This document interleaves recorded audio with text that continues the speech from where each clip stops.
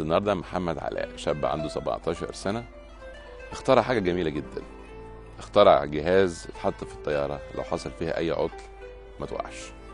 ونسمع منه الحكاية. إزيك يا محمد؟ إزيك يا مصعب؟ احكي لي بقى إيه موضوع الاختراع اللي أنت عامله؟ أنا اخترعت جهاز في الطيارة سيفتي آه لو حصل فيها عطل بحاول إن أنا ما أشيلش آه إن ما أخليش الطيارة تقع أو تصطدم بالأرض. إزاي بقى؟ هو الموضوع بدأ اولا إن أنا كنت من صغري بحب هوايتي في الطيران أو بحب عالم الطيران. أنت في سنة كام؟ أنا ثالث سنة تكنولوجي.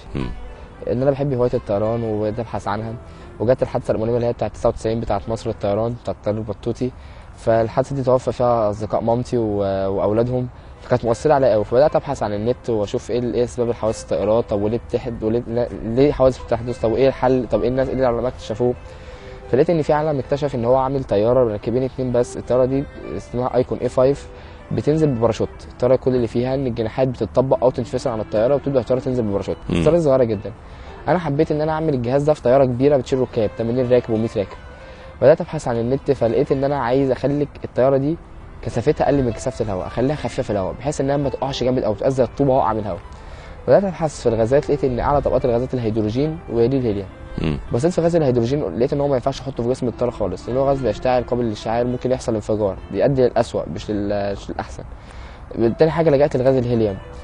رحت لغاز الهيليوم درسته لقيت ان هو غاز خامل مش قابل للاشتعال مش هيأثر على على حاجة في الطيارة. حتى لو اتسرب ما ي... هو مش هيتسرب بس حتى لو اتسرب ما يأذيش الركاب بتوع الطيارة. أنا فكرتي بتقول إن لو حصل عطل في الطيارة أنا بحوط مقصورة الركاب بين الصاج الخارجي والصاج الداخلي للطيارة بحط عوامات محاوطه مقصورة الركاب كلها. العوامات دي بيضخ فيها غاز هيليوم. في خز... خزان هيليوم في الكارجو بتاع الطيارة في مكان عفش الطيارة اسطوانات هيليوم بتضخ غاز الهيليوم في جسم الطيارة كله. بتخلي الطيارة خفيفة في الهواء بتخلي كثافتها أقل من كثافة الهواء. ده طبعا لما تكون الطيارة تحت 20000 قدم يعني لو حصل والطياره بتقع اول ما بتنزل تحت 20000 قدم الجهاز system automatic بيشتغل لوحده. ده في حالة حدوث عطل إن الطيارة خلاص مفيش أي حاجة فيها شغالة الطيارة ضد هتقع تتكسر خالص. بعد كده بعد ما بخرج غاز الهيليوم الطياره بتصبح كثافتها أقل من كثافة الهواء. بتقف في الهواء ولا بتقع ولا بتنزل؟ الهيليوم رافع الطيارة فوق. ما بتطلعش بتفضل واقفة. طب أنا دلوقتي عايز أنزل الطياره أنا وقفتها في الهواء والهيليوم مديها توازن أنا موزع الهيليوم في جسم الطياره بنسب متساوية بحيث إن يبقى في توازن للطياره ما تبقاش مايلة. بعد كده ببدأ إن أنا أفرغ غاز الهيليوم ده تدريجيا. كل ما بسرب غاز الهيليوم كل ما وزن الطياره بيرجع يزيد من تاني تبقى تقيلة فبتبدأ تنزل تدريجيا. كل ما أنا بسرب بسرب الهيليوم باستمرار الجاذبية بتشد الطياره الوزن بيتقل. قبل الأرض مسافه 3 كيلو بيبقى وزن الطياره تقيل بيبقى الهيليوم قرب يخلص. فابدا أعمل زي حاجة أداة مساعدة اللي هي الباراشوت. بفتح باراشوت مربوط من مركز ثقل الطيارة حول مركز ثقل الطيارة عملاق بيشيل الط... بيعمل كبريك في الهواء مع الهيليوم لغاية لما ينزل الطيارة على الأرض. ده ده حسب طبعا لما برج المراقبة بيوجهني إذا كان على الأرض أو على البحر. لو كان على البحر أو على محيطات أو ايا كان بقى مسطحات مائية ببدأ برضو أنزل بكل الجهاز اللي فات مع الباراشوت لكن ما بفتحش العجل بقى بتاع الطيارة. في خزان برضو نيتروجين في عوامات في أسفل الطيارة كلها من تحت. النيتروجين بيخش برضو بسربه في العوامات دي بتتنفخ تبدأ الطياره تقف على المية ممكن يتم سحبها أو فرق الانقاذ تيجي بدون أي عطل. ده ده كده في النيتروجين. طبعا أنا اشتركت في مسابقات علمية خدت الحمد لله الشهادات من شركة أنتل آه، بتاعت المسابقات. طبعا لها الفضل إنها بت- بتشاركنا عشان نعمل خطة بحث علمي كويسة. آه طبعا عملت اختراعات تانية عملت سيارة صديقة للبيئة عملت تكييف صحراوي بيشتغل في ب 12 12 فولت كهرباء فكرة بسيطة جدا. عملت ضد الغرق ما بتغرقش برضو لو حصل فيها عطل بحيث الحاجات دي كلها سجلتها؟ آه في طبعا البحث مسجل؟ مسجلها في أكاديمية البحث العلمي والح... يعني خلاص أر- مشروع الطيارة بدأت يعني خلاص البراءه الاختراع بتاعته بدأت اخدها قربت اخدها يعني. لأن أكاديمية البحث العلمي واقفة جنبنا جامد في في خطة البحث العلمي في في كل حاجة. آه طبعا لما شاركت في مسابقة انتل الحكام عجبهم المشروع بتاعي. بدأوا يأهلوني للايسف عرب اللي هي في الإمارات. هي كل سنة بتبقى في دولة عربية شكل. طبعا الحمد لله كنت ممثل مصر هناك. الحمد لله خدت الجائزه الثالثه على مستوى ال- العالم العربي وخدت ال وخدت ال ما شاء الله. وخدت الميدالية برضو من شهادة وزارة التربية والتعليم. تتقدم شركه أنتل وزاره التربية والتعليم وجامعة الشارقة بالتهنئة إلى محمد علاء الدين محمد جمهورية مصر العربية. وذلك للفوز بالجائزة الثالثة عن فئة هندسة الأنظمة الكهربائية والاتصالات في مسابقة أنتل للعلوم العالم العربي 2011 والتي أقيمت خلال الفترة من 27 إلى 30 نوفمبر. 2011 في رحاب جامعة الشارقة بدولة الإمارات العربية. شيء جميل جدا وأنا سعيد ان يعني إن أنا قاعد مع واحد من علمائنا الشباب يعني. آه الحمد لله برضو على مشروع ال- ال- السيارة بتاعتي. أنا عملت برضو آه إن أنا أعمل ع- طيارة بتمشي بالطاقة بدل ما بتمشي بالوقود وال- والغ- والغاز. وكان معايا برضو واحد صديق اسمه محمود. آه عملنا فكرة إن إحنا نعمل العربية تمشي بالشحن بالشحن الذاتي إن الطيارة كل ما بتمشي في دينامو بيتحرك أصلا العربية دي قايمة على بطاريات. البطاريات دي بتشغل المحرك الكهربي عادي خالص العربية بتمشي. بيبدأ ال- الحركة بتاعت العربية دي بتحرك الدينامو. الدينامو بيولد طاقة يشحن البطارية تاني وهكذا. طبعا في طاقة مفقودة نتيجة وزن العربية. ففي بطاريات بديلة بتدي شحن إضافي للبطارية. يعني بحيث إن فقد الطاقة اللي بيفتقدها بتعوضه. فبالتالي العربية ما بتقفش. بالتالي وقت ما باجي امشي بتمشي وقت ما باجي آه، أقف بقف. هي كل حاجة شغالة معايا بدون ولا وقود ولا ولا حتى بشحن.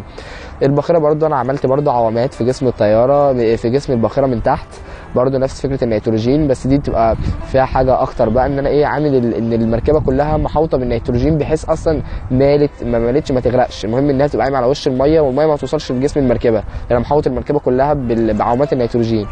آه، دي كانت فكرة الباخرة بتاعتي وبرضو خدت عليها جو- جوائز كل الأفكار دي واخد عليها. بس قول لي الاختراع بتاع إن الطيارة ما تقعش و... ده اختراع رائع جدا ومهم جدا.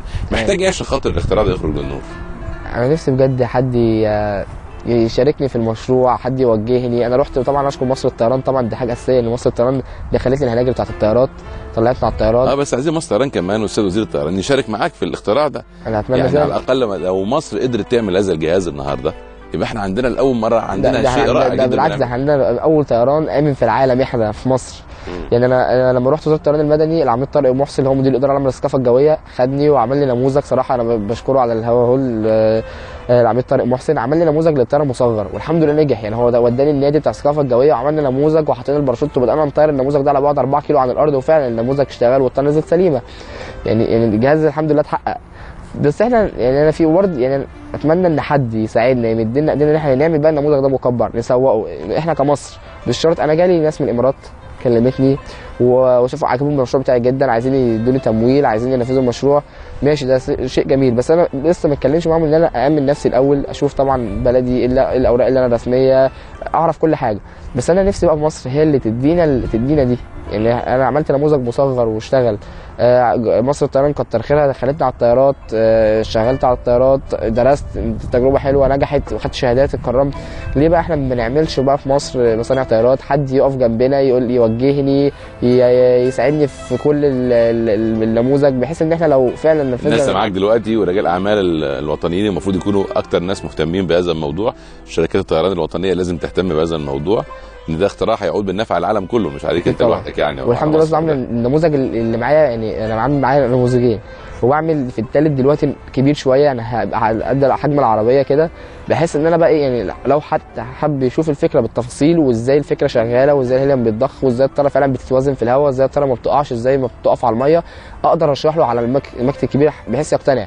وأنا برضو لما حد يجي يقول لي طب أنا مش مصدق الفكرة تعالى وريني آخد الطيارة بطير الطيارة وأسيبها. يعني أنا بفصل سلك خالص وأسيب الطيارة تقع.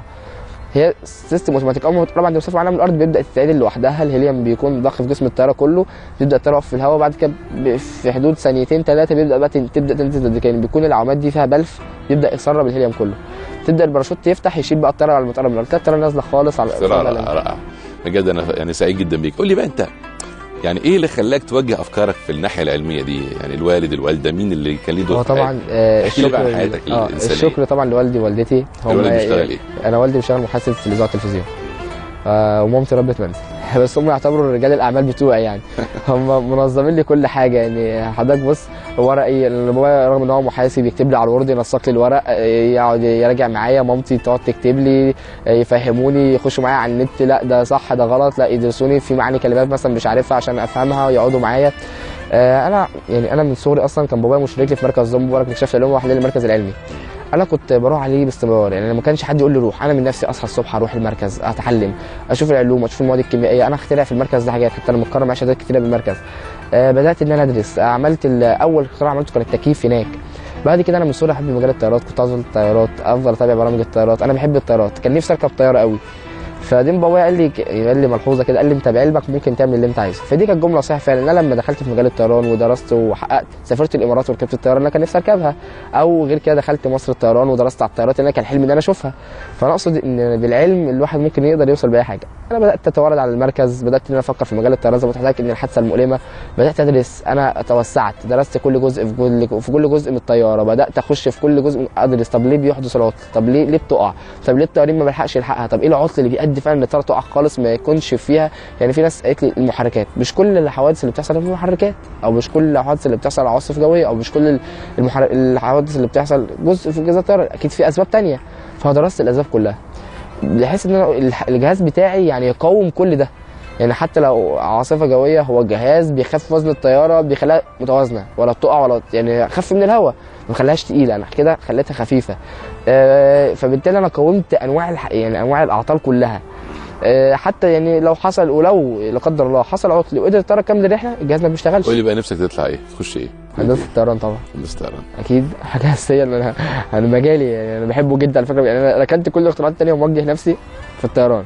محمد أنا سعيد جدا بيك وربنا يوفقك وأنت نموذج جميل لشبابنا لا أنا سعيد بجد إن أنا بجد قعدت مع حضرتك بجد. كان امل حياتي بجد أطلع مع حضرتك والله لا، اللي بجد والله بجد محمد يعني. والله فخور جدا بيك. وأنا يعني بتمنى لك كل التوفيق. وأنا واثق إن اسمك ده مش هيتنسي وإن الناس هتفتكره كعالم كبير عالم مصر كبير إن شاء آه، الله. ممكن بس أشكر في نهاية الحلقة كل الناس اللي ساعدتني. طبعا اتفضل. أشكر العميد طارق محسن وزارة الطيران المدني الباشمهندس خالد محمد عمر آه، آه، مصر الطيران. طبعا اشكر بابا وماما طبعا بقى اللي وقفوا جنبي. طبعا أساسي. دي حاجة أساسية. وأشكر الدكتور عمرو رضوان أكاديمية البحث العلمي.